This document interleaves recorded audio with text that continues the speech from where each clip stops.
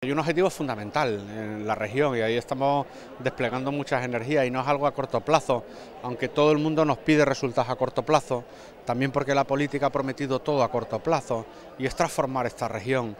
Eh, y transformar esta región quiere decir que hay que transformar también mentalidades y de ser una región que ha creído mucho en la subvención, porque se podía, yo no lo voy a criticar, se podía porque había fondos de Europa, ahora hay que apostar más por la innovación, por la iniciativa, por los empresarios, por los autónomos, por la gente que quiera apostar eh, su riesgo, su trabajo para tirar delante, adelante de esta comunidad autónoma, porque una comunidad donde todo sea dependiente de la administración es una comunidad que pasa por muchas dificultades como está viviendo ahora. Y por lo tanto tiene que tener más sociedad civil, más pujanza eh, en definitiva de los sectores productivos. Y estamos invirtiendo muchos esfuerzos y muchos recursos y eso no se hace de la noche a la mañana. Eso no se hace de la noche a la mañana. Y, yo creo que si eso fuera capaz de hacerlo, aunque fuera mm, una cuota, un porcentaje importante del objetivo, yo me sentiría por satisfecho. Porque eso querrá decir que el día de mañana, porque esta crisis va a pasar, esta crisis va a pasar, pero el día de mañana si viniera otra crisis, que cogiera mucho más fuerte a Extremadura, que cogiera una sociedad mucho más dinámica, empresarialmente, eh, bueno, que hubiera mucha más pujanza, porque Extremadura si algo tiene son capacidad de generar recursos, tenemos recursos todos los del mundo, todos lo sabemos, ¿no?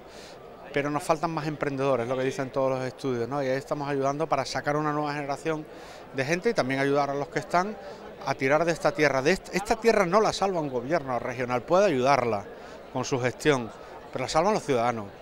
Y por tanto hay que ampliar la base de emprendedores, de ciudadanos, de sociedad civil, para en definitiva, bueno, pues insisto, cuando pasemos esta situación, que la pasaremos, y vuelva a otra situación, nuestros hijos digan, bueno, la región es distinta y ahora hay más instrumentos para poder responder. Y, sobre todo que se respeta Extremadura.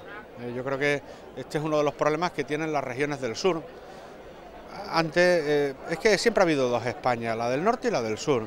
Yo lo entiendo, ¿no? Antes, yo lo he hablado esto mucho con mucha gente, con ministros, con el presidente del gobierno.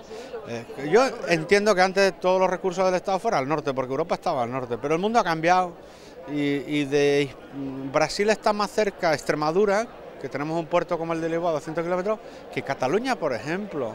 Es que ha cambiado los ejes, es que el norte de África está creciendo, es que no hay que poner ya las cestas siempre en los mismos, los huevos en las mismas cestas, porque el mundo ha cambiado y, los mercados no están solo en, Europa, están en Latinoamérica, donde tenemos un cliente tremendo. Por lo tanto yo voy a reivindicar a Extremadura, que no es una región cualquiera que la región extremeña, aunque son dos provincias, es la mitad de extensión que la comunidad de Andalucía, con ocho provincias, y que aquí hace falta eh, que ese déficit que ha habido con esta región, históricamente, por la razón que sea, pues se vaya saldando a favor de sus ciudadanos que no tienen que por qué seguir pagando esos déficits.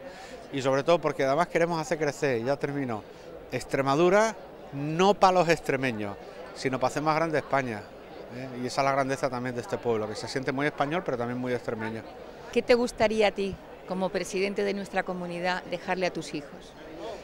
Bueno, yo me conformaría eh, con una situación muy parecida como a lo que le ha pasado al alcalde de, la ciudad, que se entregó en alma, vida y corazón por su ciudad, que creyó que, habría, que había cumplido una etapa y que forma parte de, de la ciudadanía, del barrio, de la calle, de nuestra ciudad. ¿no? Es decir, yo eso es lo que pretendería, ¿no? Cubrir una etapa con mis aciertos, con mis errores, como cualquier persona en cualquier actividad, y luego volver a ser una persona eh, pues, pues más normal, si se me permite la expresión, porque también los, políticos tenemos corazón, los políticos también eh, tenemos, lloramos, reímos como cualquier persona. Siempre lo he dicho, mi madre a mí no me parió político, me parió persona, ¿no? Pero, pero bueno, y poder dedicarle un poquito más de tiempo a mis hijos del que le dedico ahora. Ahora se lo dedico a la comunidad, yo espero que algún día lo entiendan, pero también es verdad que es una etapa en la que están creciendo que, el salir por la mañana y terminar por la noche hace que te pierdas muchos momentos muy importantes.